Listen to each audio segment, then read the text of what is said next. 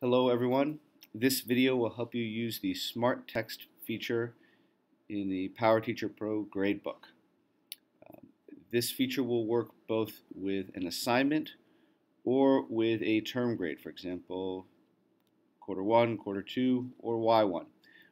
We, we're just going to use an assignment today, but you can use it for either. So your first step is obviously to create an assignment you want to use. What this feature will allow you to do is fill comments for students, so you don't have to enter it more than one time.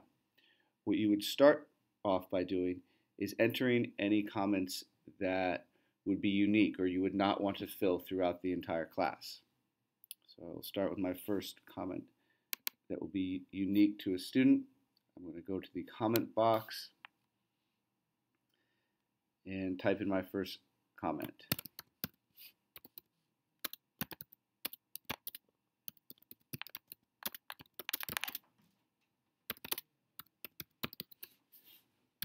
Course, I'll need to save my comment.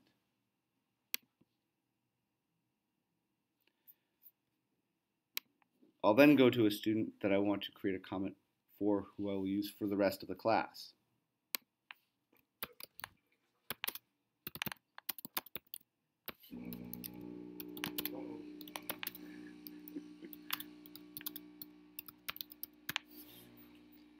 When I use the smart text feature, I need to make sure that I use either the first name or the full name of the student I'm talking about.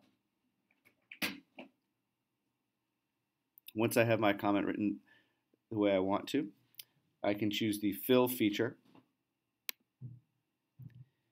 If I had put scores and used some of the flags such as missing, collected, late, I could choose my first option have all those filled, or I can simply choose comments only. For this case, I'm going to use comments only.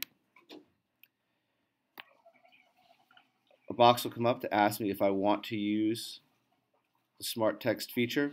You'll notice that it's showing me that it's going to pull the first name from all the students and then use the pronoun to match as well. I'm going to confirm this by saying use smart text. And you'll now notice that I have 16 more comments that have been added to my gradebook. I'll click on OK and show you some of the results. So we started with Noah's comment. With Noah did a fantastic job on his project. But if I click on Eleanor's project, you'll see Eleanor did a fantastic job on her project. So this feature will allow you to enter comments that you want to use for a a large group of students only once and then simply fill them. Make sure that, as always, that you save your work when you're done.